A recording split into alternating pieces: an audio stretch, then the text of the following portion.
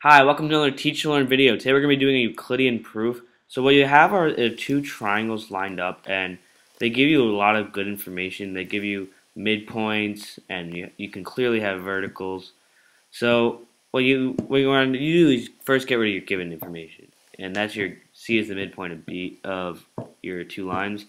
Um, that gives you a lot of good stuff. It gives you um, congruence, congruency because definition of midpoint and then you could also use vertical angles. So that's going to be really easy to do this proof, but that's not what you're finding. You're not finding, you're not proving these triangles congruent. You actually have to prove the lines are parallel.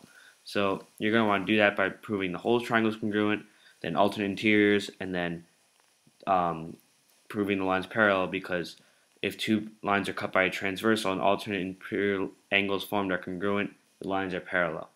Thank you for watching a Teach to Learn video subscribe for more great videos um, which will help you deeply in your quest for a hundred on this geometry Regents.